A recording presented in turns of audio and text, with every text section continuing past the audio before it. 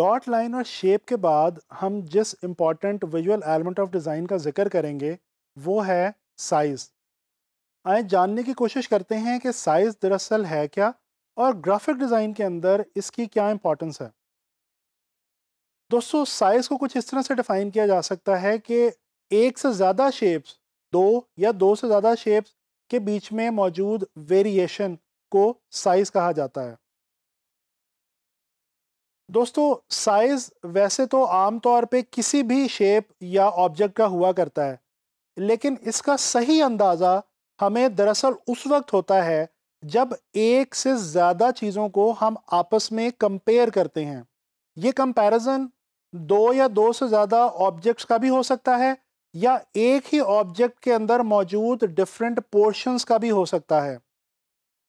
एक आम सी मिसाल से इसको समझने की कोशिश करते हैं।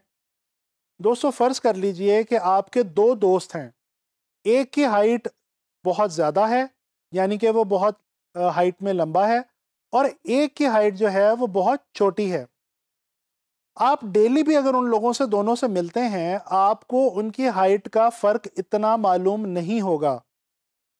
अगर किसी दिन वो दोनों दोस्त आपके सामने इकट्ठे खड़े होंगे तो डेफिनेटली आपको अचानक अंदाज़ा होगा कि यार इन दोनों अफराद की हाइट के अंदर बहुत ज़्यादा डिफरेंस है। तो मालूम ये हुआ कि साइज़ के बारे में, चाहे वो किसी इंसान के जिस्म का हो, या वो किसी भी ऑर्गेनिक या नॉन ऑर्गेनिक चीज़ का हो एक्चुअली हमें उस वक्त सही अंदाज़ा होता है जब हम उन दो या दो से ज़्यादा चीज़ों का या उस एक चीज़ के पोर्शंस का कंपैरिजन करते हैं। एक और मिसाल को देख लीजिए। हमारे बॉडी पार्ट्स ह्यूमन बॉडी के अंदर डिफरेंट बॉडी पार्ट्स हैं हेड से लेके फीट तक, जिसके अंदर हमारा हेड हमारी neck trunk arms hands legs और फीट वगैरह शामिल हैं।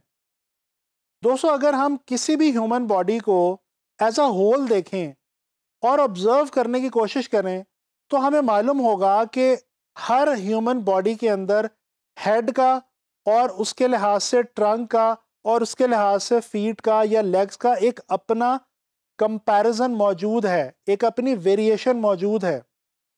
इसी तरह से अगर हम ज्योमेट्रिक शेप्स के अंदर देखने की कोशिश करें, मिसाल के तौर पे आप एक ट्रायंगल को लें और ट्रायंगल की बड़े और छोटे साइज़ में डिफरेंट वेरिएशंस निकालें। आप ये देखेंगे कि with in that same shape shape तो ट्रायंगल ही है, लेकिन आपको उनके साइज़ में वाज वेरिएशन यानी कि फ़र्क मालूम पड़ेगा। तो पता ये चला कि साइज़ को जांचने के लिए कंपैरिजन बहुत इंपॉर्टेंट चीज़ है। दोस्तों साइज़ ग्राफिक डिज़ाइन में करता क्या है? साइज़ ग्राफिक डिज़ाइन में अट्रैक्शन पैदा करता है। इसके अलावा चीज़ों को ऑर्गेनाइज करने का काम करता है। और इसके अलावा बाज़ात किसी भी चीज़ के फ़ंक्शन को जस्टिफाई करता है। कुछ डेली लाइफ एग्ज़ाम्पल से देखने की कोशिश करते हैं कि साइज़ ये तमाम काम किस तरह से करता है। दोस्तों, अट्रैक्शन की बात अगर की जाए तो हमें बीइंग ह्यूमन बीइंग बहुत ऊँची और लंबी इमारतें बहुत अट्रैक्ट करती हैं। इसी तरह से बाज़ात राह चलते हुए आपको कोई छोटा सा जानवर या कोई छोटा सा फूल या कोई छोटी सी पड़ी हुई चीज़ ज़मीन पे बहुत अट्रैक्ट या अपील करती है। यानी कि चीज़ें जब साइज़ में बहुत बड़ी या बहुत छोटी हों तो वो आपको अट्रैक्ट करती हैं। इसी तरह से अगर हम किसी भी ग्रुप ऑफ़ पीपल का ग्रुप फ़ोटो खींचने की कोशिश करें तो सबसे पहला काम हम क्या करते हैं? फोटोग्राफर सबसे पहले ये रिक्वेस्ट करता है कि कम हाइट वाले लोग आगे की तरफ़ आ जाएँ और ज़्यादा हाइट वाले लोग पीछे की तरफ़ चले जाएँ। बेसिकली उस वक्त फोटोग्राफर कर क्या रहा है? वो साइज़ और हाइट के मुताबिक ऑर्गेनाइज करने की कोशिश कर रहे हैं उन लोगों को। इसके अलावा एक और एग्जांपल देखिए। फ़र्ज़ कर लीजिए कि आपको अपनी फैमिली के लिए एक कार परचेज़ करनी है। आपकी फैमिली के ग्रुप ऑफ़ पीपल जो है, वो पाँच से सात लोग हैं। डेफिनेटली आप जब मार्केट में जाके अपनी फैमिली के लिए गाड़ी देखना शुरू करेंगे तो आपकी कोशिश ये होगी कि आप वो गाड़ी खरीदें, जिसका साइज़ इतना हो कि आप अपनी पाँच से सात लोगों की फैमिली को उसमें ईजिली अकोमोडेट कर सकें। तो बेसिकली एक हमारा डिसीज़न गाड़ी परचेज करने का, ये भी साइज़ पे डिपेंड कर रहा है। या इन अदर वर्ड्स साइज़ जो है, वो हमारे इस डिसीज़न को जस्टिफाई कर रहा है।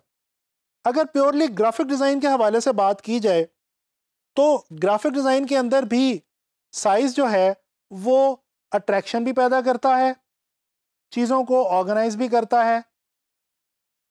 चीज़ों को ऑर्गेनाइज करने के हवाले से एक बहुत ही बेहतरीन मिसाल देखिए। गौर से कभी न्यूज़पेपर और मैगज़ीन को पढ़ने की कोशिश करें। आप देखेंगे कि जो सबसे इंपॉर्टेंट लाइन होती है, यानी कि हेडलाइन उसका साइज़ सबसे बड़ा होता है। उसके बाद सेकंड नंबर पे इंपॉर्टेंट जो टेक्स्ट होता है, उसका साइज़ उससे कदरे कम होता है। और उसके बाद जो डिटेल टेक्स्ट होता है, यानी कि बॉडी टेक्स्ट उसका साइज़ इन दोनों से कम हुआ करता है।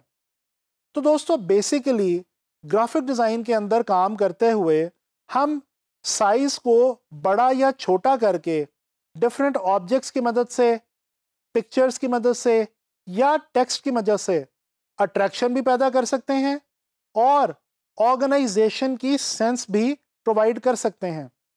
दोस्तों, जब हम एज अ ग्राफिक डिज़ाइनर अपनी लेआउट या अपनी कॉम्पोजिशन बनाते हैं तो हमें ये फैसला लेना होता है कि हम चीज़ों को उनके किस साइज़ के अंदर इस्तेमाल करें।